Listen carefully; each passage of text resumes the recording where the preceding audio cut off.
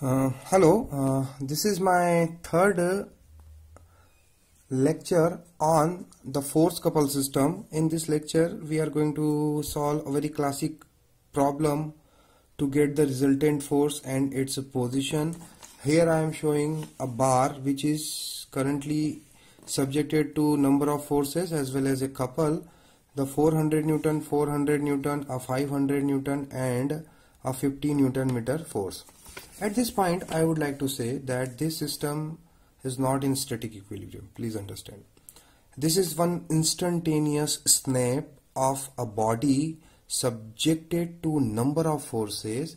I'm just want to find a resultant force which will give the same effect which I am getting because of these number of forces. So first you should know that this is not a system which in static equilibrium we are going to find a resultant force and the position of the resultant force which is going to give me the same effect which I am getting because of these three forces as well as because of this moment. So now how we are going to solve the problem? The rules are same. What is what are the rules? The first rule says that you have to find the resultant force of all the forces. In this case, please remember there are three forces and one couple is acting. When I am going to get the resultant force, I am not going to consider the effect of the couple. I am only interested in the forces. So first job is to find the resultant of forces. In this case there are horizontal force as well as the vertical force. So if I will make the free body diagram of my bar, the free body diagram of bar will look like this way. Uh, then the, or I would say instead of free body diagram what I am doing I am going to consider the horizontal and vertical component of this force. Instead of having the 500 newton I am having 500 sine 60 and 500 cos 60 now to get the resultant of forces when you are having both horizontal and vertical forces what you need to do first? First you have to find the net horizontal force then you have to find net vertical forces. So in this case let's this is my positive direction and this is my positive direction. If I am going to write the summation of horizontal forces there is only one horizontal force that is 500 cos 60 so I will put minus 500 cos 60 that would be minus 250 Newton minus sign says that the net force is acting towards the left direction. Because this is my positive x this is my positive y.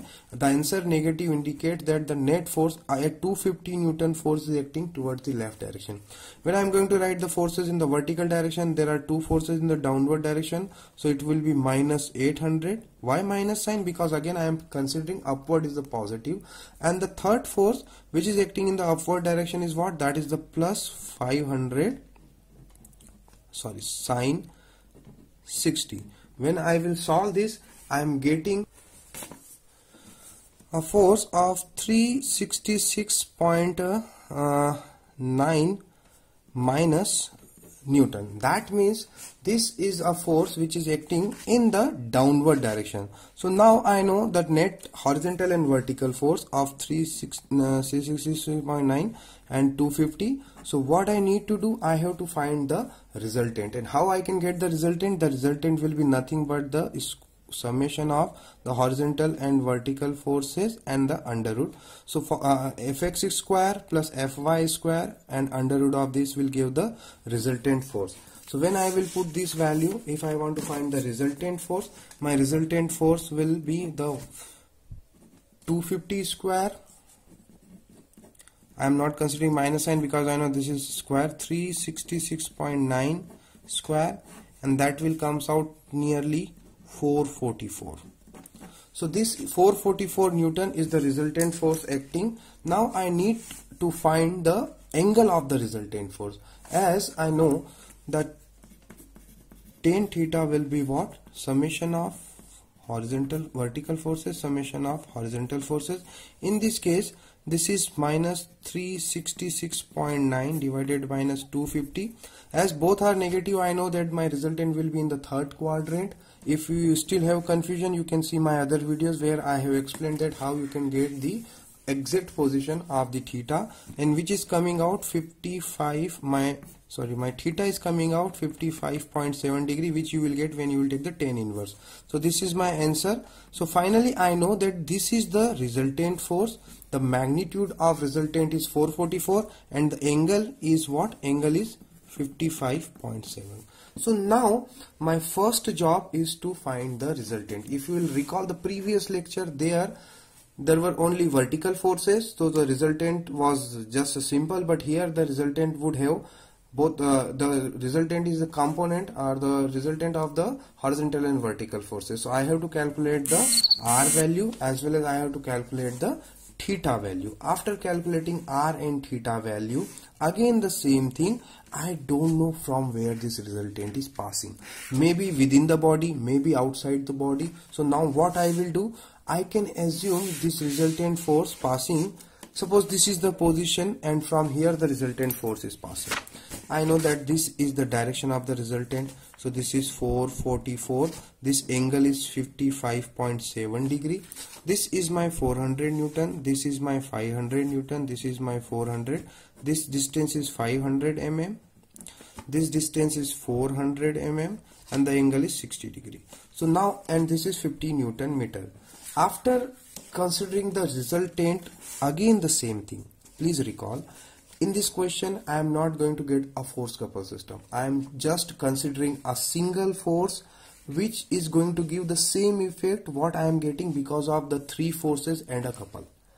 So I am just considering that let's that this is the position of my resultant force which is x distance from this point. After getting after just assuming the position of the resultant force now I can write the equation of the moment. That means I have to write equation for the right hand left hand side as well as the right hand side. And again whatever I am writing for the left hand side whatever rule I am considering for the left hand side the same rule is going to be follows for the right hand side so now where you want to take the moment let's take the moment at this point because I am assuming x from here. Otherwise you can take moment here here or anywhere. If I am going to take the moment at this point and I am considering that the counterclockwise moment will be positive. You can take clockwise positive but I am generally take counterclockwise positive. So what would be my equation? I first write the equation for the left hand side where I am going to consider three forces and a couple and at the right hand side I am going to get the effect of because of the resultant force. Here also you can cross check the resultant is acting in this way. So there will be two component of resultant. One which is going to pass from this point another one in the perpendicular to this body and this component will be what? 444 sine theta. So when I am going to write the equation at this point moment at this point my equation will be what? 500 also having the vertical and horizontal component. So first I will take the 500 into this distance which is 400 mm so 500 and this is sine component of sine sine 60 into 0.4 then the 6 400 into this distance. This is 500 plus 400 means 900 mm 0.9 meter. So I will write second 400 into 0.9 Third is this counterclockwise movement. So I am going to put this counterclockwise movement as it is. Please remember, when I was calculating the resultant forces in the beginning, I have not considered the couple in the force force equation. But when I am going to write the equation for the net moment on the body or the moment balance, I am going to consider this moment. As I said, counterclockwise positive, it is counterclockwise, so positive this 500 which is acting in the upward direction it is also going to give a counterclockwise effect. So it is also positive. How I am saying so? Ignore all the forces. Just keep your uh, body at this point because this is your point of interest. Here you are taking the moment and apply a force in the upward direction. There will be a counterclockwise rotation. So put this counterclockwise. So positive. When I am applying a downward force here this will be clockwise. So I am going to put a negative sign here and again the plus 50 that going to be balanced by the moment I am getting from the resultant force. As I am taking the moment at this point and the resultant is acting in the downward direction so my moment will be 444 sine 55.7 degree into x. And what would be the sign if I am going to apply a downward force at this point and I am keeping the body at this point the force will try to rotate the body in the clockwise sense and my convention says that the clockwise is negative so it will be negative. Please remember you are going to write the left hand side and right hand side and you are going to follow the same rule for the left hand side as well as for the right hand side. So here when I am going to solve this equation I will get my x is coming out something 0.37